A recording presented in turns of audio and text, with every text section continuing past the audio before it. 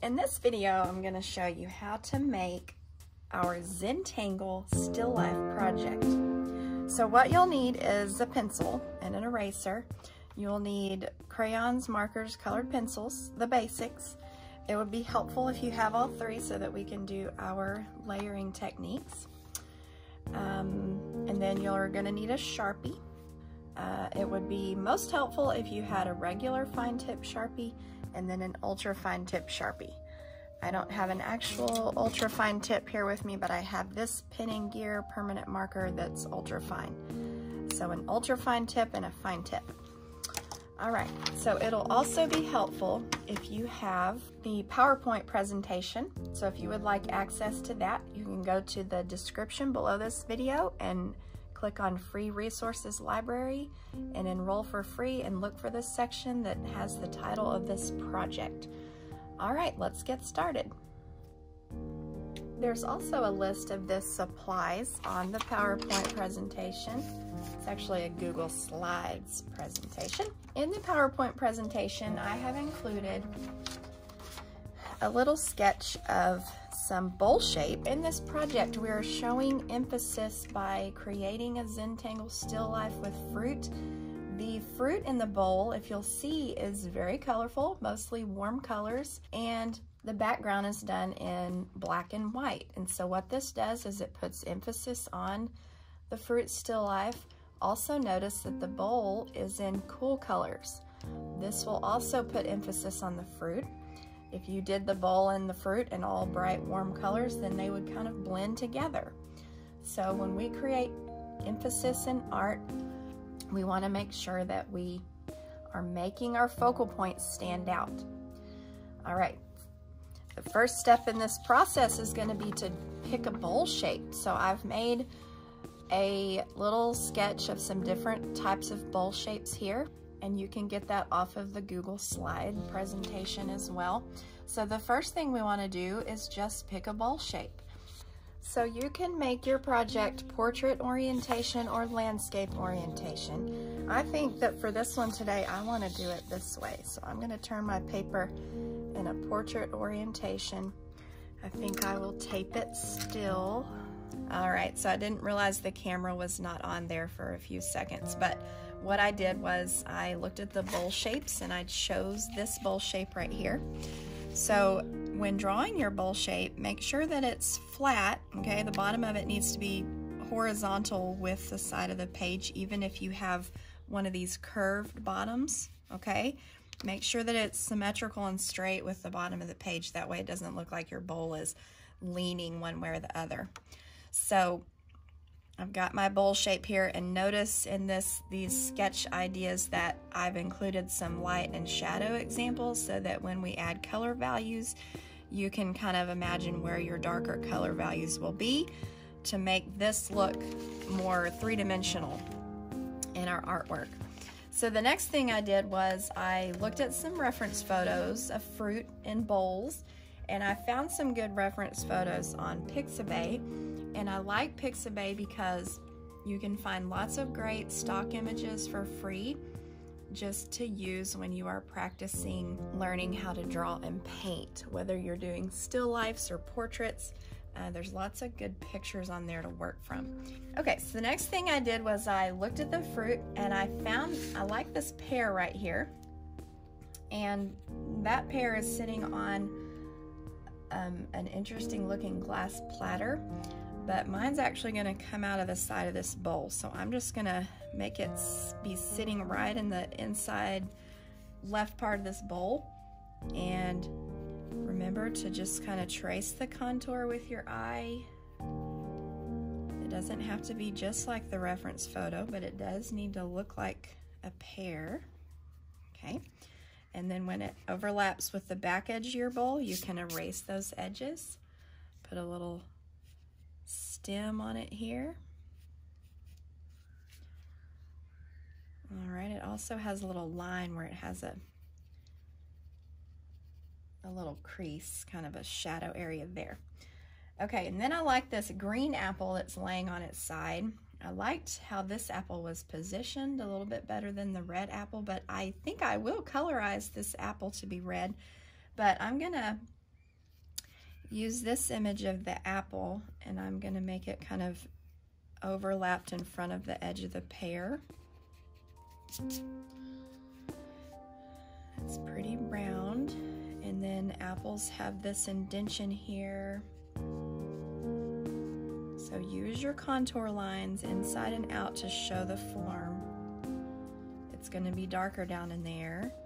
And then this little stem comes out of there. So I've got an apple. Now I want to make some grapes. So I can just start by placing some grape shapes behind the pear and apple. Uh, and I do like this leaf coming out from behind this red apple in this picture. So I'm gonna go ahead and put this leaf in there.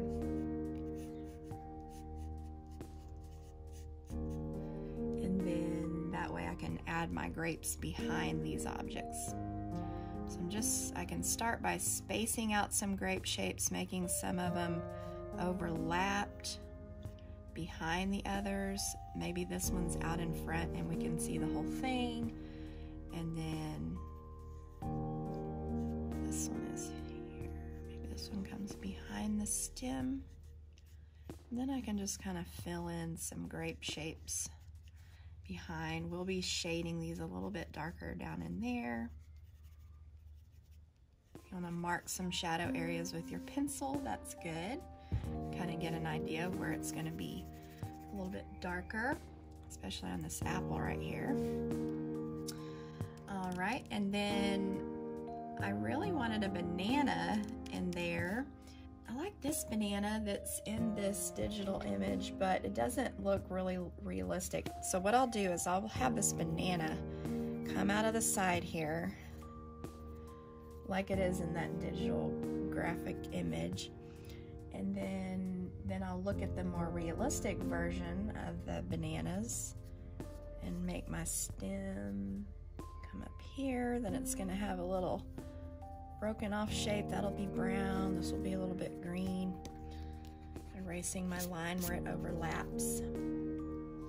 It's gonna have some edges here All right, so there's a banana. And then I'm gonna pop an orange right back here. An orange is gonna be about the same size as the apple. It's just gonna be a nice round shape. Probably gonna be some shadowing coming from down in here. All right, and then maybe some of these grapes are coming from behind this leaf.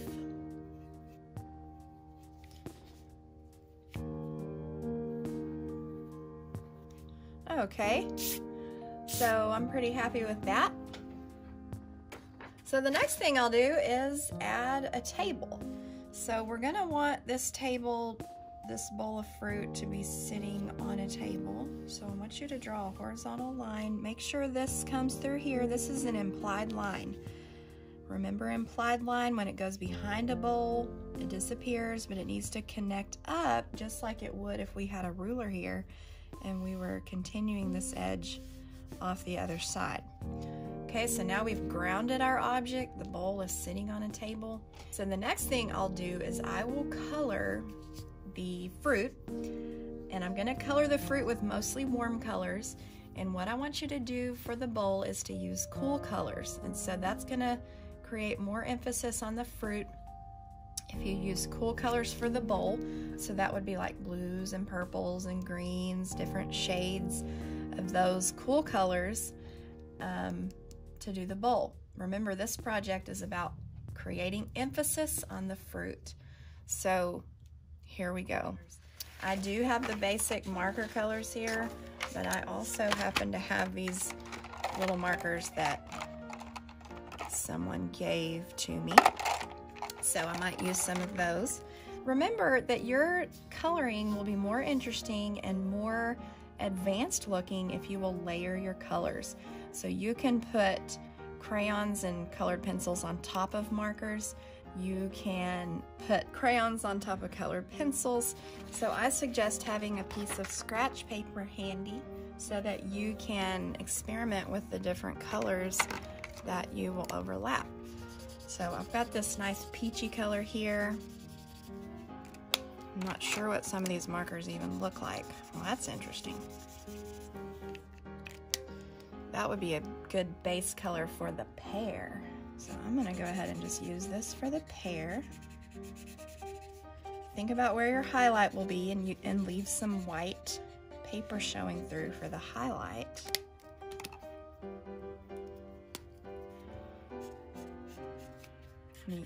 use this peachy color as the base for the orange. Leaving a little white area for the highlight.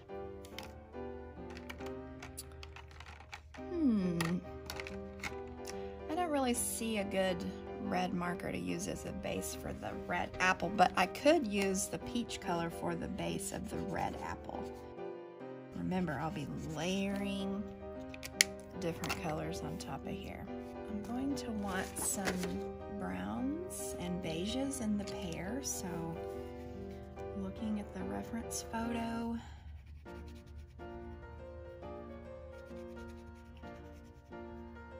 Actually, one thing I noticed, these markers have still made the paper kind of wet, so it's not taking the colored pencil very well. So what I might do is just try to use one of the crayons. I do see some brown in the pear. And I see some speckles in the pear. Maybe put some yellow in here.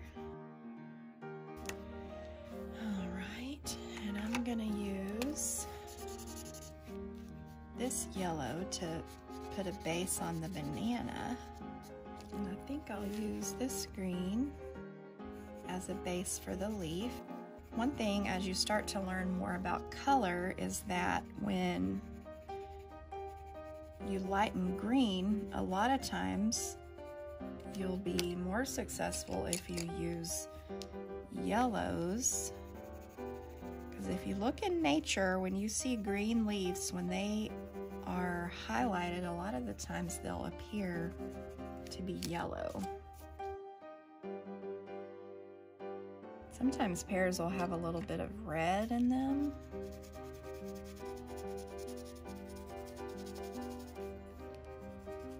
Remember, the more color you use, the more interesting that your drawings and paintings will be. I know I'm going to have some green up on the top part of this banana I know that the top of the banana is going to be dark. All right, so what I'll do, I'm going to put this on a time lapse so it doesn't take as long. And notice how I'm just going to go throughout here and I'm going to layer colors. I'm going to think about where the shadows would be and use darker color values, not black. I don't I want to stay away from using black, but use different values of your colors to create darker values. You can use blues and browns to darken. You can use purples and blues to darken. Um, so just have fun with it and see if you can create some light and shadow on your fruit.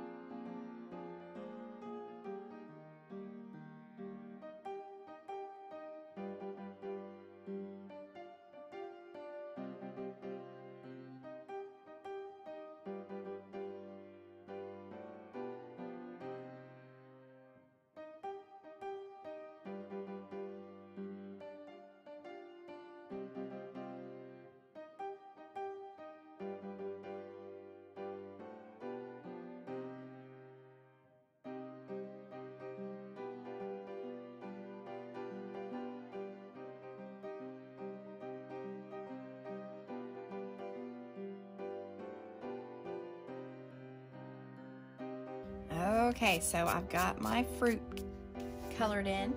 Now I want to do the bowl with cool colors. So I'm just gonna start using a cool color that's light in value and maybe, maybe this light blue colored pencil. So what I can do is just start out by putting a nice light layer of this across the whole surface of the bowl. Remember to keep your pencils sharp when you're shading and coloring with colored pencils. Do your best to stay in the same direction, except when you need to turn for just a little bit and go along an edge. Quickly get back to the common direction that you're using.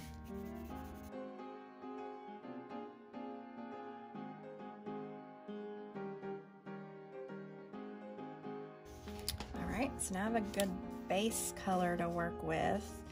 Now I'm gonna just stick with colored pencils for now, uh, and then I'll layer some more crayons on top here in just a little bit to get a little bit darker. So going back to the diagram in the Google slide presentation, look at your shadow. Look how, look where the darkest places will be in your core shadow.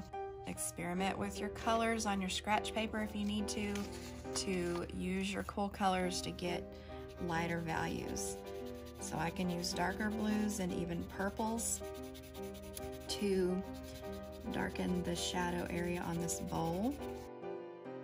I haven't done the core shadow yet. I'm just starting to darken this a little bit. I'm gonna leave it a little bit lighter over here for maybe some reflected light. Notice that when I do switch directions, I try to go back over the whole area in that different direction. And it, the two the vertical and horizontal strokes kind of cancel each other out and help it to look a little bit smoother. All right, so just watch.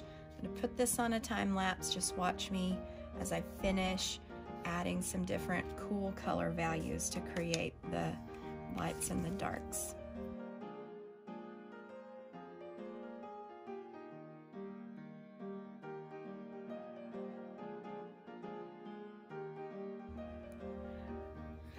All right, so I'm happy with the way this looks. And now I'm going to put all this away and get the Sharpies out and we'll explore the Zentangle pattern ideas. Back in the very first week, we did some Zentangle projects.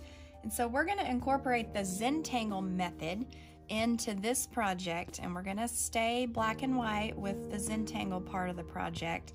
That way we will keep our emphasis on the colored fruit and so what you want to make sure to do is if, if you want to go onto the Google slide, I've put a lot of Zentangle pattern examples or you can research your own. What you want to make sure to do though is we want to have a different set of patterns on the bottom. So we want this to be visually different, the table to be visually different than the background. So what I think I'll do here is I'm going to use a series of horizontal lines, not necessarily straight lines. Maybe these lines can go, get closer together. Maybe some of them can be a little straighter.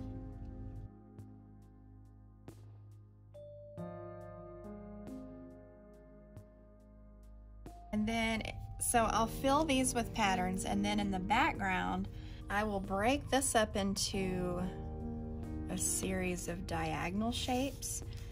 And I like to use a pencil just to kind of mark out the main sections of where my larger shapes are going to be.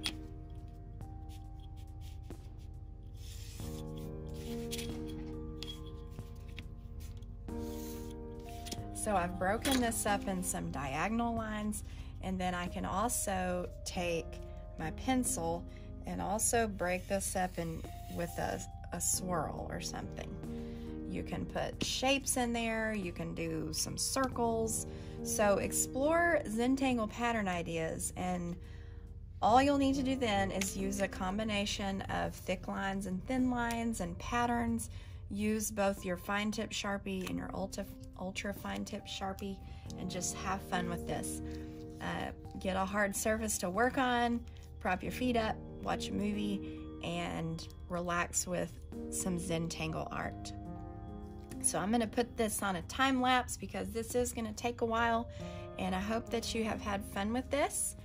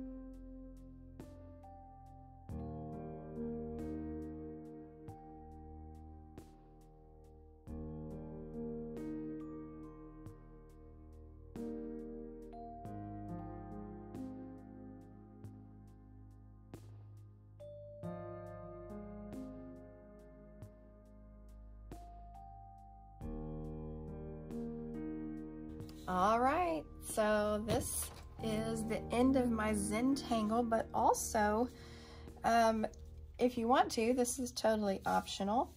You can take a pencil and do some shading. So if you look here, I've got some of these lines that overlap. So where they go under, I can add a little bit of dimension by shading. I've just got a regular blending stump right here.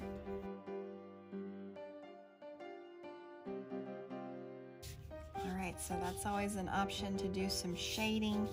Uh, you can also come down here and put some shading underneath your bowl.